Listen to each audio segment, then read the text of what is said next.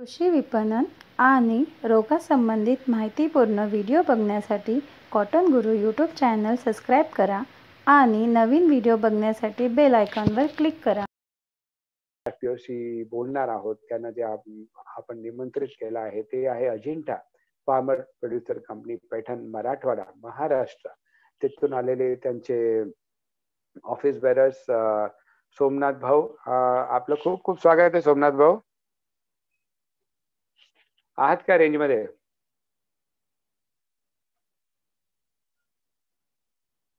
आज रेंजचा खूप इश्यू येत आहे पण आम्ही प्रयत्न केले की तेवढा शेतकऱ्यांना सांगू की जिथे जिथे रेंज आहे तुम्ही त्या रेंजवर राहा आणि आमच्याशी वार्तालाप करा. खूप सारे शेतकरी लॉग इन झाले आहेत ऐकायला.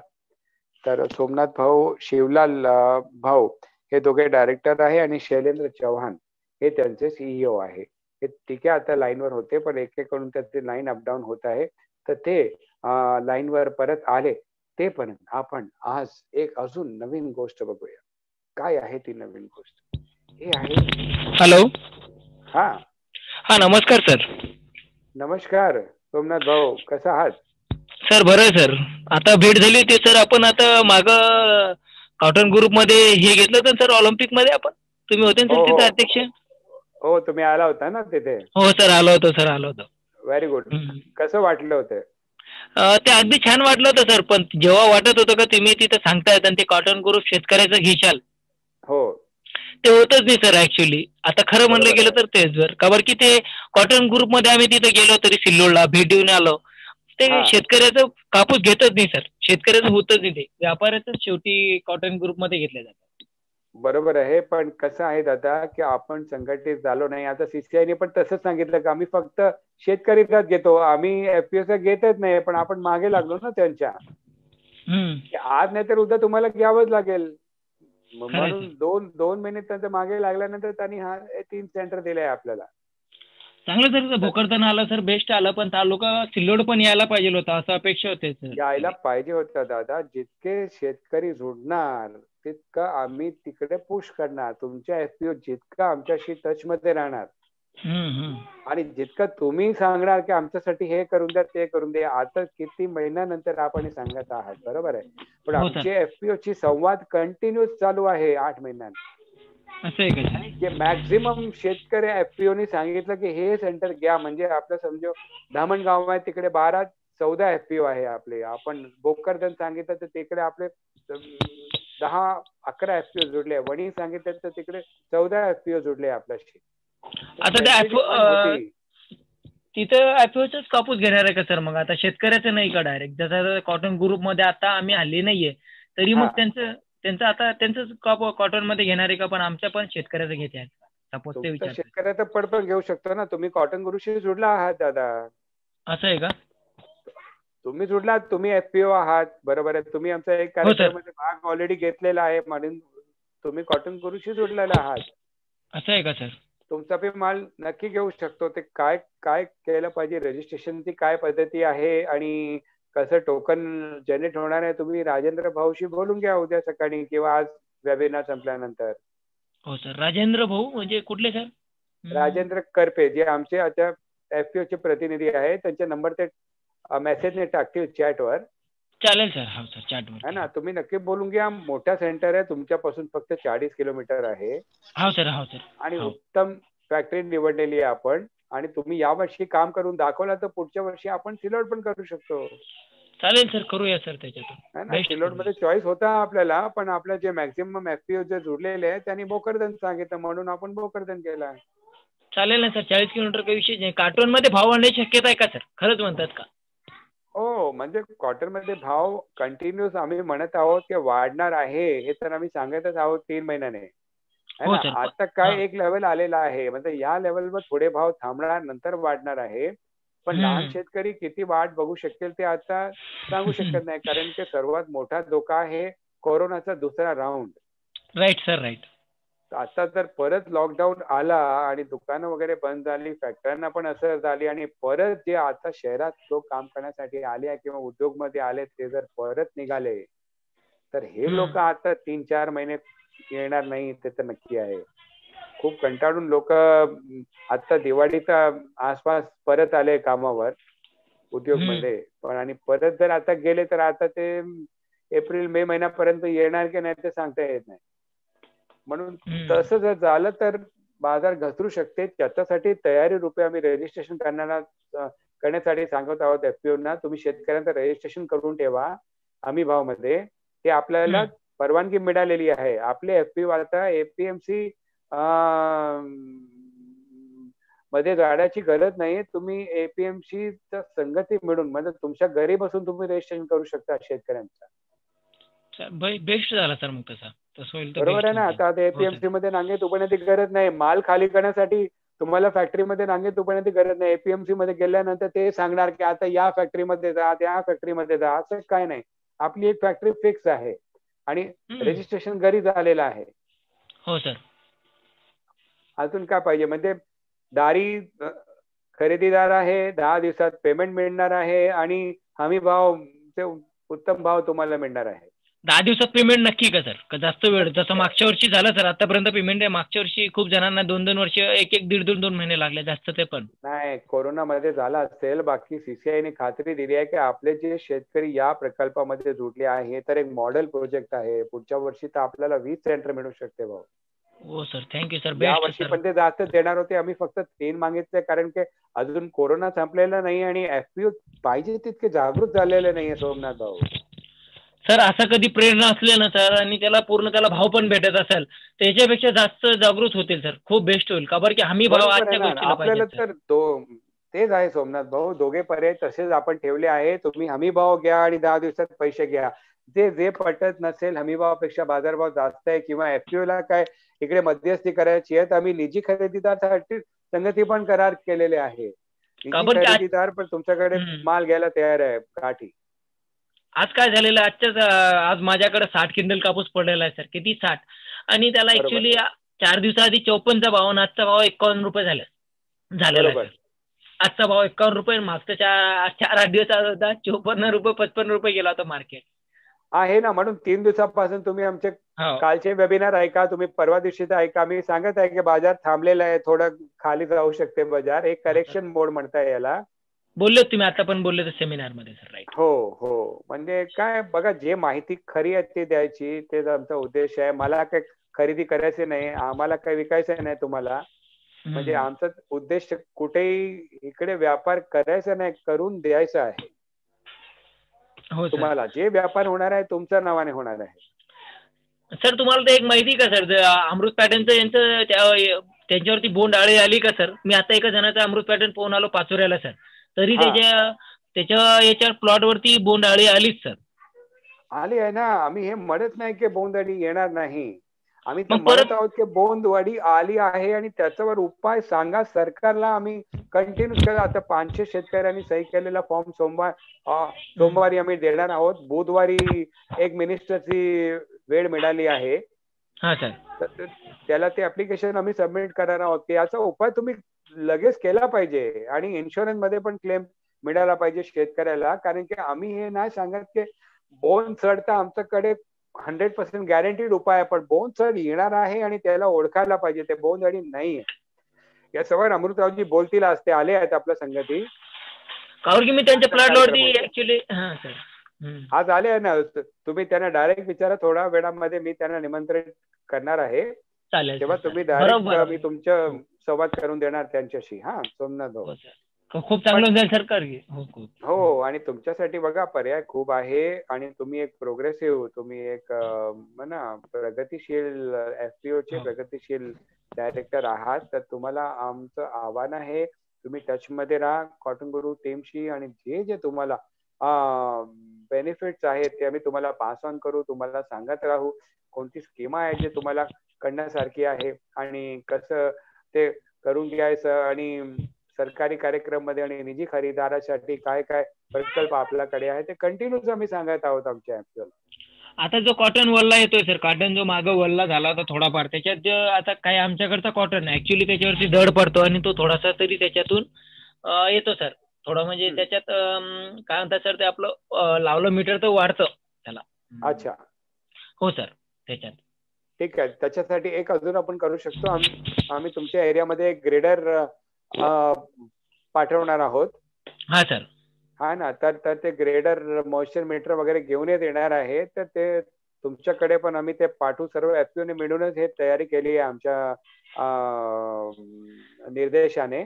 आणि तुम्हाला ते ग्रेडर चेक करून देणार माल. तुमचा माल कसा आहे काय आहे काय भावामध्ये जाऊ शकेल ते आम्ही तुम्हाला व्यवस्थित गाईड करून बी टाईपचा माल असेल तरी पण त्याचा निकाल करून देण्यामध्ये तुम्हाला मदत करू खूप बेस्ट होऊन जाईल सर चांगला खूप बेस्ट इतकं बेस्ट मग तर कुठे अतिउत्तम घरापर्यंत डायरेक्टली इतकी मोठी सुविधा असणं आणि त्याला हो. तिथे सांगणे बो तुझं इथपर्यंत जाईल हे घ्यायचं असेल तर घे ना तर मग तुला कुठे जायचं ते दे. प्राथमिक प्राथमिक प्रशिक्षण घरीच करणं हेच आपला मॉडेलचा मुख्य भाग आहे.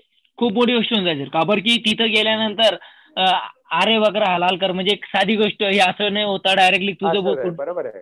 आणि आपण आपण जे इच्छा करतो तसे भाव केव्हाही तिथे जाऊन मिळत नाही काहीतरी नाही. कटिंग होते कपात होते. हो, आणि त्या त्यानंतर आपण आपण भांडू पण शकत नाही. रोज रोज किती लोकांची भांडायचं सोडण्यात जाऊ नाही सर आता एक गोष्ट सांगू का शेंदुर्णी वगैरे तिकडे असं चालू आहे हल्लीच्या गोष्टीला का ते ती ती क्विंटलला तीन किलो लेस घेत आहे सर. क्विंटलला तीन तीन किलो लेस घेत आहे सर कॉटनला.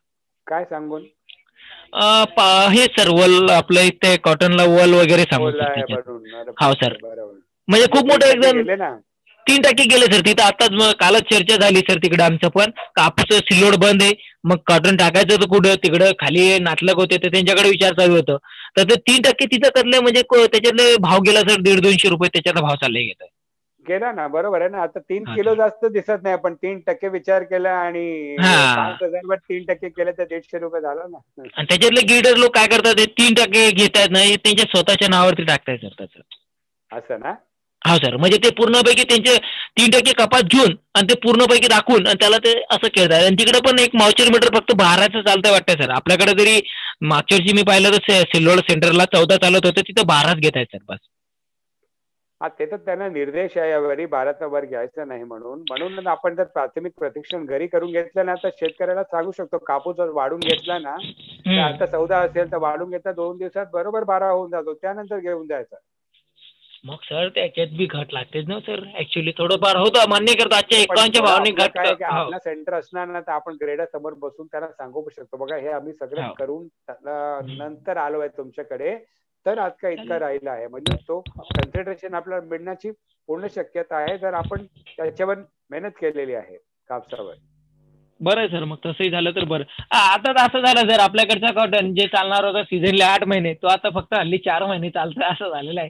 म्हणजे ते तर बेस्ट झालं का चीन सारख्या देशासाठी एका याच्यात चुनीत के- विचून घ्या आणि ते एकदम चालले जातं. तसं त्यापेक्षा. बरोबर आहे ना पण एकाच चुनीत पाहिजे तितका माल निघायला पाहिजे ना.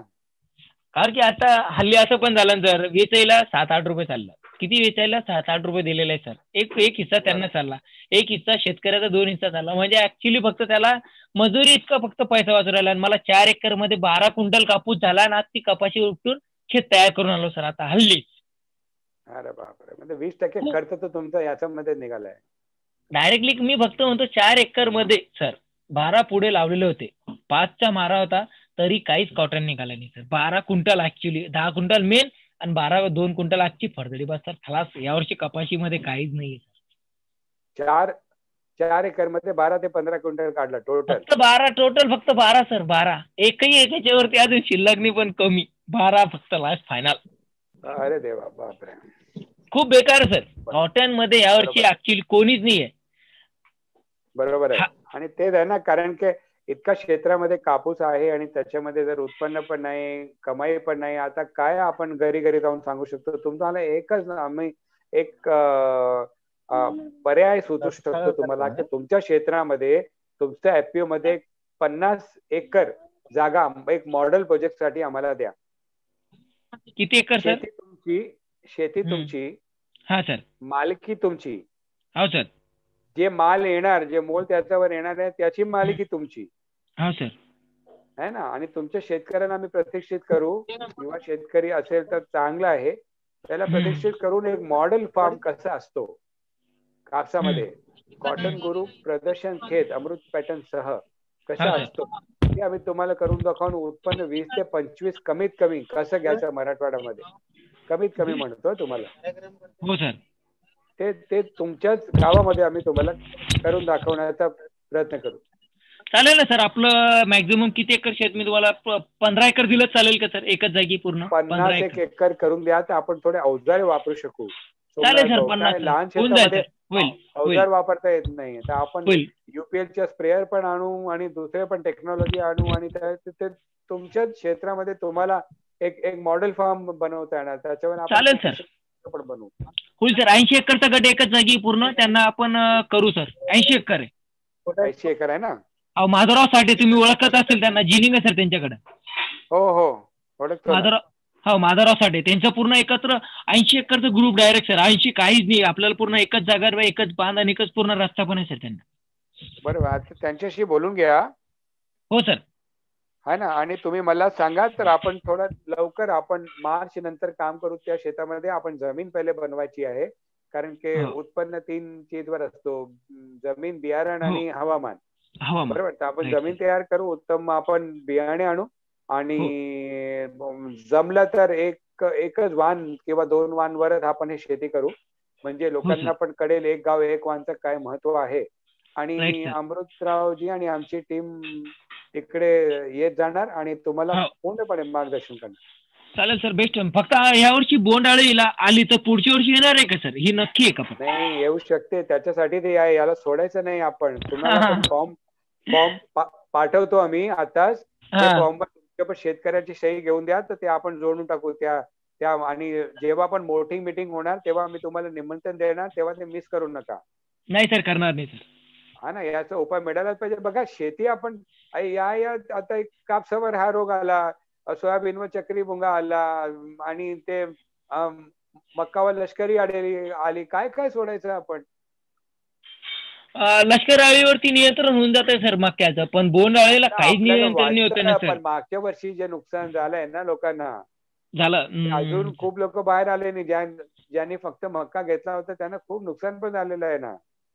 काय सर मी मक्का मागच्या वर्षी पण घेतला ना पूर्ण आम्ही दोन हजारच्या भावाने पूर्ण मक्का पेरला होता. दोन हजाराचा भाव. एक भेटलं होतं. नंतर काय. बाराशे रुपये मक्का विकली सर आता आता आता आता चार महिने भाव मक्काचे सध्या. बरोबर आता सोयाबीन. सोयाबीन गरम आहे आणि कापूस गरम आहे. बस हे दोन गोष्टी गरम आहे सोयाबीन मध्ये. म्हणजे काय आपल्याला शेतामध्ये आम्ही सांगत नाही की एकच पीक घ्या. तुम्ही पीक वेगळे वेगळे घ्या दोन तीन पिकं घ्या पण त्याच्यामध्ये वाहन जास्त मिक्स करू नका. त्यापर्यंत स्वतः शेतकरी एक एक गोष्ट सांगतो सर आज जाऊ दे आपण एक वैयक्तिक सांगू सर. आज एक रुपयाचा शेतकरी लाख रुपये लावतो. लाख रुपये शेतात तो लावतो दहा लाख रुपये लावतो आणि त्याचा स्वतःचा माल तो स्वतः विकू शकत नाही स्वतःच्या भावामध्ये सर. तो त्यापर्यंत वरती येणारच नाही सर. किती करून ना त्याचं काय चालतच नाही ना बाजारमध्ये. बाजारमध्ये ज्या दिवशी मला सांगा सर एक लाखाची तो मशीन नेतो घरी आणि तो सुई बनवतो त्याच्यापेक्षा आणि तो सुईमध्ये तो स्वतःचा मार्केटमध्ये स्वतः विकतो सर. तो मजेत आहे. पण हा दहा लाख रुपये लावून सुद्धा सर मार्केटमध्ये मजेत नाहीये सर शेतकरी. मी स्वतः दोन वर्षापासून शेती करतोय. असं वाटतं का शेती करावं नाही वाटत? सर ऍक्च्युअली नाही वाटत. ना बघा तुमच्यासारखे जे युवा जर असं म्हणत असेल तर आम्हाला पण दुःख वाटते आणि असे हजारो कोटी लोक आहे. कारण की शेती सोडू शकत नाही आणि शेती करायची नाही अशा परिस्थितीमध्ये आले खरंच झालं सर. ऍक्च्युली खरंच मी दोन वर्षापासून खूप मेहनत करतोय शेतीमध्ये. आता पण सेमिनार अर्धा तास माझा हुकला मी शेतीमध्ये आता रोडर मारून चालू होतं तरी कपाशीच्या बरोबर. जमलं नव्हतं. भाऊ अटेंड केलं मी लगेच अटेंड केलं सर त्याच्यात. अर्धा तास. बरोबर आहे. तुम्ही आलात म्हणून आपला हा वार्तालाप झाला ना भाऊ? कारण की शेतीमध्ये हे जे ऐंशी एकर तुम्ही सांगत आहात ना त्याच्यामध्ये आपण ते विशिष्ट आपण काय काय वेगळा करतो. कारण की अंग्रेजीमध्ये इंग्लिशमध्ये शब्द आहे क्लायमेट रेसिलियंट ऍग्रिकल्चर है ना? कसंही पाऊस जास्त तो दोन वर्ष अगोदर काय परिस्थिती हो- होती मराठवाड्यामध्ये? तीन. पाऊस झाले. हो ना? दुष्काळच होता. बारा महिन्यामध्ये तीनच पाऊस झाले. आणि. असे दोन वर्ष गेले. हो मागच्या वर्षीच वीस पंचवीस जुलै नंतर पाऊस झाला थोडा क्षेत्रामध्ये. हमी भाव भेटत नाही ना सर कोणत्याही गोष्टीला. मला सांगा सर तो पाच रुपयाचा कुरकुरा बनतोय त्याला शंभर टक्के बनताय आणि मग शेतकऱ्याच्या कोणत्याही गोष्टीला हमी भाव होत नाही पूर्ण शेतकऱ्यांना. त्यापर्यंत शेतकरी सुखी आहेच नाही सर आणि राहणार पण नाही सर मी असू का माझा पोरगा. असू द्या. दाखवायचा. आपण सोडून द्यायचं नाही सोमनाथ. आपण सोडलं तर आपल्या मुलाचं काय भवितव्य आहे सांगा. तुमचा लहान एज्युकेशन इज बेड झालं. एज्युकेशन इज बेड झालं. आता एखाद्याला कधी बोललो का काय करायचं? शेतीमध्ये पैसा घ्यायचं तर बाहेरचं कर्ज न घ्या. कधी कधी कर्ज होऊन जातं. आणि काय करणार हो. सर? खरं म्हणलं गेलं तर. आजचं बारा क्विंटल कापूस मला खरंच बोलायला लाज वाटते. मी यावर्षी कमी घेतलं कर. मला पण वाटतं. बरोबर आहे ना. एक एकरीमध्ये जे मिळायला पाहिजे ते चार एकरीमध्ये मिळालंय. म्हणजे तुमच्या पंच्याहत्तर टक्का शेत वाया गेला ना वेस्ट गेला असं झालं ना? मागच्या वर्षी मी पंच्याहत्तर कॉटन घेतलं सर. पंच्याहत्तर क्विंटल कॉटन घेतलं होतं सर. त्याच्यातून बी तरी सड पण झाली होती काही पण प्रमाणात. पंच्याहत्तर क्विंटल घेतलं तुम्ही एकरी पाच एकरमध्ये सरतो पाच बरोबर आहे. म्हणजे आणि तुम्हाला मिळाले होते ना? आणि हा सर. आणि यावरची तो डायरेक्टली आला मला चार एकर वरती ऍक्च्युली काहीच खर्च निघाला नाही खरी गोष्ट आहे ना. आपलं कर्ज पण निघणार नाही. खर्च तर सोडा. काहीच नाही. तो चार एकर असा बसलेला डायरेक्ट का तो दोघही शेतांचा माल घेऊन बसला. म्हणजे काय झालं? तिथं सर भराई झाली बरोबर आहे बरोबर म्हणजे एक दहा हजार हा दहा हजार वाला माझ्यापेक्षा म्हणतो मी म्हणतोय का शेतकऱ्याचे जे माझ्या इथं काम करतायत सर मी त्यांच्याकडून व्याजाने पैसे घेण्याची गोष्ट खरी आहे सर. खोटं बोलणार नाही तुम्हाला. खरं सर ऍक्च्युली खरं झालेलं ही गोष्ट एकदम ऍक्च्युली तुम्ही घेशाल ना शेतकऱ्याच्या घरापर्यंत जाशाल तेव्हा माहिती पडेल. का काहीतरी प्रॉब्लेम येतात कोणाचे. मी आज म्हणतो माझ्या समोरच्या घरचे जे माझ्याकडे तीनशे रुपये रोजाने काम करतात. कधी कॉटनमध्ये पाचशे रुपये रोज पडतो त्यांना. त्यांच्याकडे दहा दहा हजार रुपये व्याजाने वीस वीस हजार रुपये आज मी एका बाईकडून घेतलेले आहे सर. सांगा. आपण ज्याला चुकवतो त्याच्याकडून घेण्याची पाडी आली पाळी आली सर. कारण की तो एका वाटा तो कपाशीचा वाटा तो डायरेक्टली घेतोय सर. ऍक्च्युली सात रुपये क्विंटल आठ रुपये क्विंटल त्याला द्यावं लागतं वेचायचं सर आपल्याला. हो. मग तो नाही हा. मग त्यापेक्षा बेचून घेत तर जास्त नुकसान आहे. पाण्याने सतवलं त्याला. पाण्याचं वेचायचं धाक. त्याला याचं वेचायचं धाक. सगळं कॉटन म्हणलं तर तेही रिक्स सगळ्या गोष्टीला विचार केला तर तेही रिक्स येते नाही शेतीमध्ये रिस्क आलाय ते जातं शेतीला कशा रिस्क कमी करून घ्यायचं त्याच्यावरच आपण कंटिन्यूस बोलत म्हणजे आत्मनिर्भर कृषी जे आपण नाव दिलं आहे आत्मनिर्भर एग्रिकल्चर आपण ज्याला म्हणतो हे अक्षरशः करून दाखवावं लागेल. आता फक्त नशीब सरकार आणि निसर्ग याच्यावर अवलंबून शेती होणार नाही पण नाही. हमी भाव शेतकऱ्याला सांगतात सर. मक्का कुठे गेला का हमी भावावर आपला सिल्लोडला सगळ्यापैकी चांगलं ओळखतात. कोणतंही मक्याचं सेंटर चालू झालं नाही मागच्या वर्षाला ना या वर्षालाही मक्याचं होत नाही सर. चालू खरं म्हणलं गेलं तर. नाही करणार ना? होणारच नाही सर. मी म्हणतो सर खरं म्हणतो मनापासून सत्तार साहेब आहे त्यापर्यंत ते कॉटन जीनचं एक वर्ष चाललं तर चाललं ना तेही चालणार नाही. कारण कॉटन जीन मधून त्यांना सगळ्यात मोठी खाद देते सर. आणि ते चालू देणारही पुढे. ते खरं बोलतो आपण त्याला काही लपवायचं नाही सर. ती बोलशाल तर लगेच दूर ते कॉटन ग्रुपमध्ये तिथे चालू नाही कारण की त्यांना तिथं सगळ्यात जास्त कॉटन चालणार तीच आहे. आणि ते शेतकऱ्याचं कोणी बघत नाही. ज्यापर्यंत शेतकऱ्याचे पोरं वरती होणार नाही त्यापर्यंत तर कधी होतच नाही. सर ते वरती गेले का सगळं विसरतात का आपले कोणी भाऊ खाली आहे का काय आहे? हा नाही आपण कुठून आलो आहोत आणि आपल्या गावातले लोक आपलं सपोर्ट केलं तर आपण इथे पोहोचलो आहोत. ते पोहोचलो. विसरून जाते. सगळं विसरून जातात सर. ज्यापर्यंत खरं आता जे बघा इतके सारे शंभर एफपीओ आता कॉटन गुरु महाएफपीओ फेडरेशनशी जोडलेले आहे. आणि मॅक्झिमम लोक कापसामध्ये आहे सोयाबीन मध्ये आणि मक्का मध्ये आहे. है ना? तर आपण मिळून याचा काहीतरी तोड तर शोधावं लागेल. है ना? उपाय शोधल्याशिवाय आता पुढे जाऊन काय अर्थ नाही पण आपण शेती तर सोडायची नाही उपाय शोधायचा उपाय तर सर असं आहे एकदम हार्डिंग आता ते आता ऐंशी एकरचं माधुराचाच करू. तिथं तर डायरेक्ट मजूर लागायला पाहिजे नाही. ती सर्वात मोठी भावना डायरेक्ट करू ना दादा तुम्हाला काय काय केलं पाहिजे ना एका वेबिनारमध्ये आम्ही सांगू शकत नाही पण हे जे नियोजन आहे ना हे चार पाच टप्प्यामध्ये आहे. आणि याचा उपाय काय कसं करायचा मजुरी खर्च तुम्ही खुशी खुशी देणार कारण की तुमचं उत्पन्न देता मिळणार आहे आणि गुणवत्ता अशी असणार ना तुमचं कॉन्ट्रॅक्ट फार्मिंगमध्ये तुम्हाला ऑपॉर्च्युनिटी इतकी मिळणार आहे की तुम्ही स्वतः सांगणार की मजुराला द्या पण माझा एकही किलो माल कुठे गेला नाही पाहिजे. है ना? तसं आपण करण्याचा प्रयत्न करू. हा.